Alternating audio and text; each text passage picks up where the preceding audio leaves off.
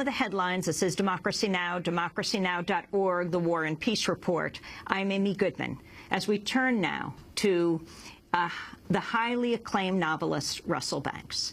His new novel explores the plight of sex offenders trying to live among us as outcasts. Banks is a two-time Pulitzer finalist who's written a dozen novels and several short story collections.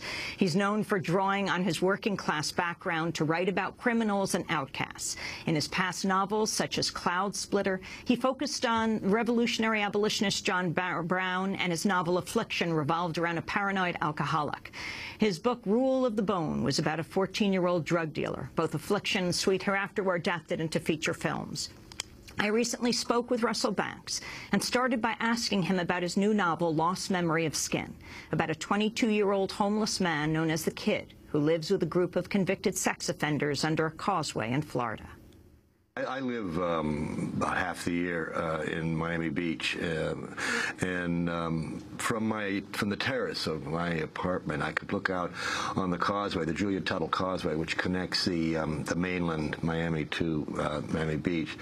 And about four years ago, articles started appearing in the um, Miami Herald about a colony. It really can't call it much else than that um, of, of men who were convicted sex offenders uh, who had served their time um, and then were dropped off with the connivance of the local uh, law authorities um, and parole officers and so forth um, underneath this bridge and were living there. Uh, they couldn't live, as you said, anywhere within 2,500 feet of where children gather, which essentially meant there was no place in the city for them to live.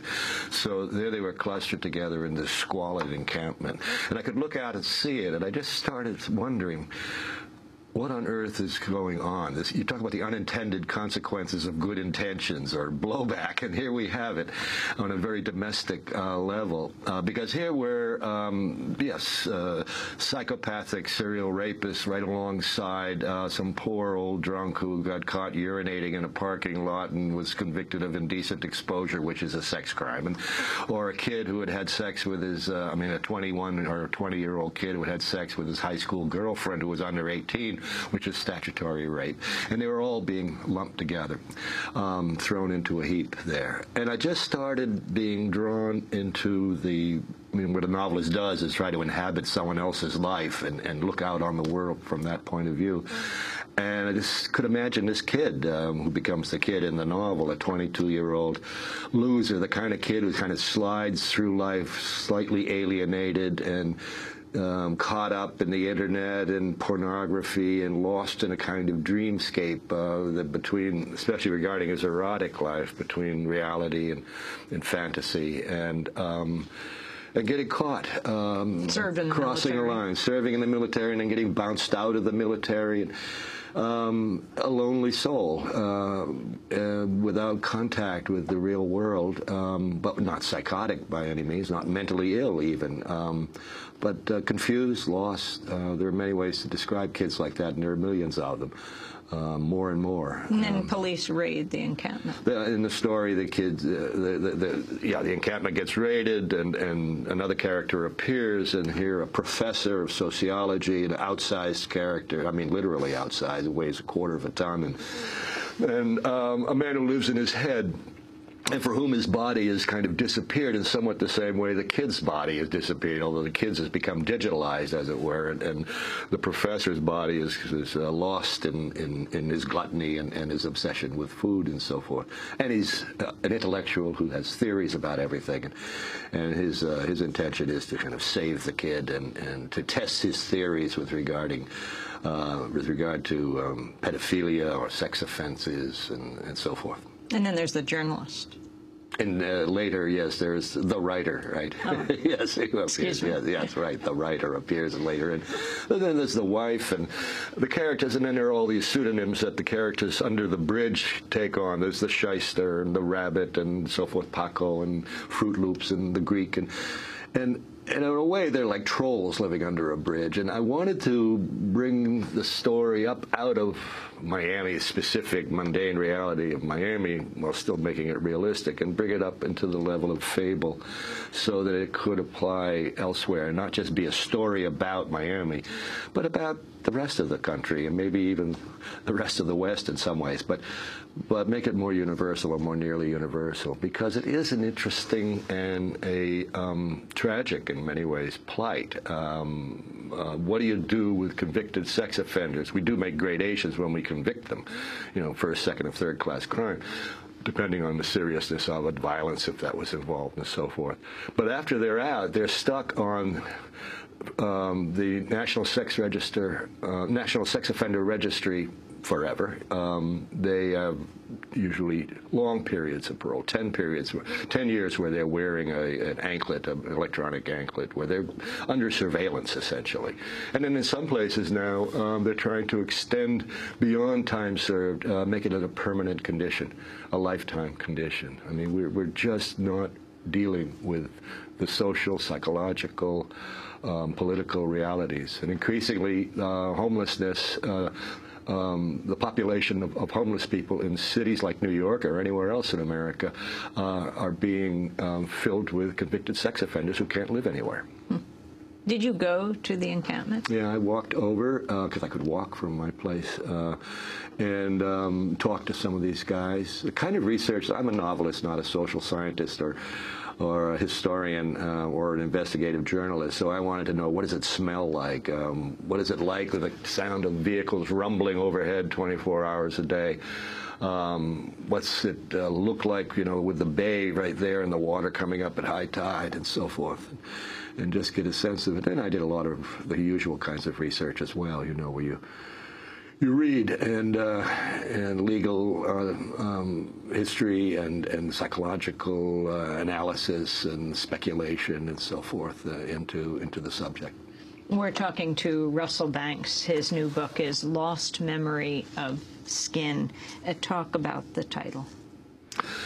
Well, I think that I wanted the title to uh, direct us to the erasure of the hard line which has existed for so long between fantasy and reality, especially when it comes to our erotic lives, our sexual lives.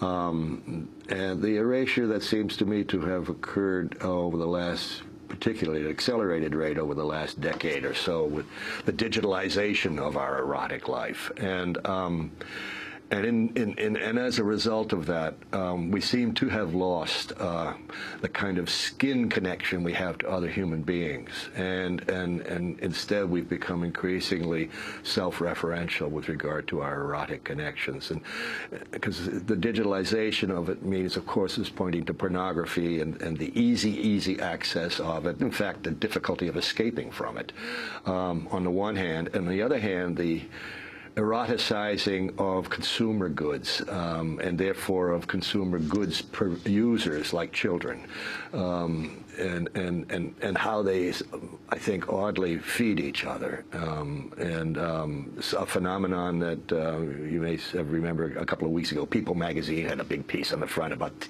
children with tiaras and beauty contests and so forth. Well, that's just another example of it, uh, uh, of this phenomenon. You set yourself a very difficult task because you're taking the most unsympathetic characters mm-hmm. in society. Mm-hmm. Um, you are taking sex offenders. Mm-hmm. And yet, you, by meeting them, are showing us all that they do. With this, like the kid, uh, mm-hmm. this young man uh, who's 22 years old, um, continually in trying to get a job, for example. He has to see, is there a school around? Is there a movie theater around? Is there a, is he allowed into a library? He has to ask. Yeah. And anyone being able to check mm-hmm. the registry. Mm-hmm. So you're taking on the most difficult task. Yeah, and it's a taboo subject. It's one we don't want to think about. Um, we uh, would just as soon it went away somehow. And, and um, so when you bring it back up into a novel, you're also bringing up you hope that the the reader um, will feel some of the same affection and sympathy for this character as as I do, as the author does. Um, it is a risk, I suppose, but you know, I, I, didn't think about it until now. I mean, in a funny way. As, uh, well, while writing the book, I was just simply following my own deep personal curiosity and need to understand a life very, very different from my own once the book enters the public world, of course, then I have to consider the fact, well, probably not everybody has the same curiosity and interest uh, and desire to understand that, that I do. And you hope the kid is sympathetic.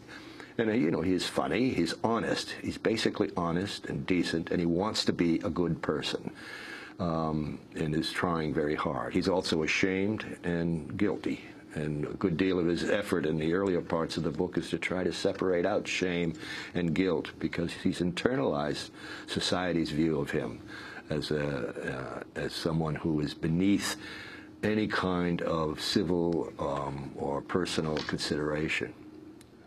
I wanted to go back uh, to one of your earlier books that was made into a film, um, The Sweet Hereafter. The novel tells the story of the impact on a small town of a tragic school bus accident that killed many of the town's children. In this scene, the father of two of the children confronts an aggressive trial lawyer who's shown up in town to organize the families of the victims into a lawsuit.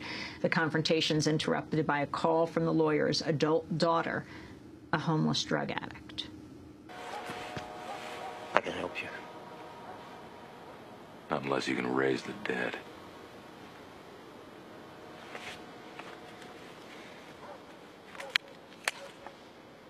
Here, you may change your mind.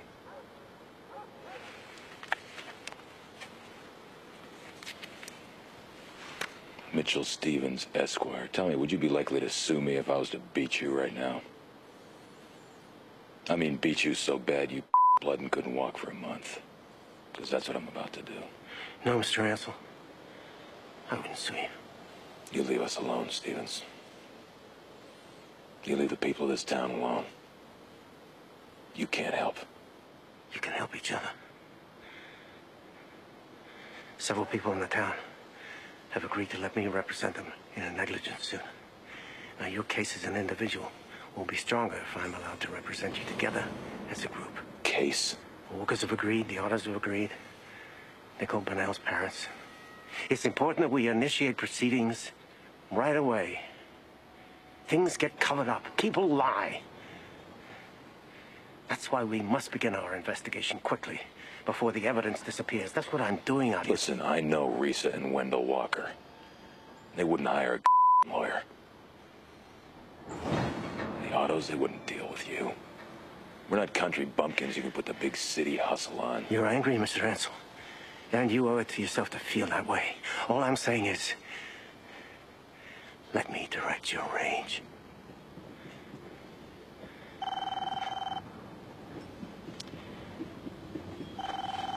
That's my daughter.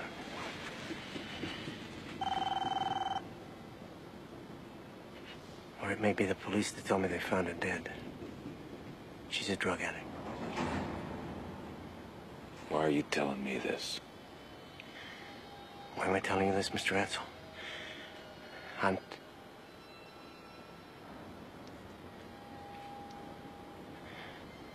Because we've all lost our children. They're dead to us. They're killing each other in the streets. They wander comatose shopping malls.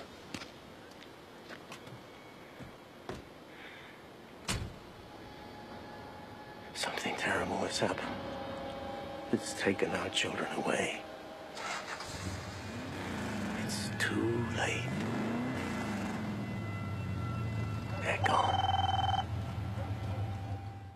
Russell Banks, in your novel, The Sweet Hereafter, um, as in your latest novel, A Lost Memory of Skin, you write about lost childhood. Can you talk about this recurrent theme in your writing? You're right, it does. It comes again, Rule of the Bone is really about that. And I'm not sure. I think I'm drawn to, again and again, the, the, the story of, of the lost child, the abandoned child, maybe more of the case. The child is not simply lost from home. There is no home uh, in most of these cases. Um, perhaps uh, I endured a version of that myself as a child. Um, but Where did you grow up?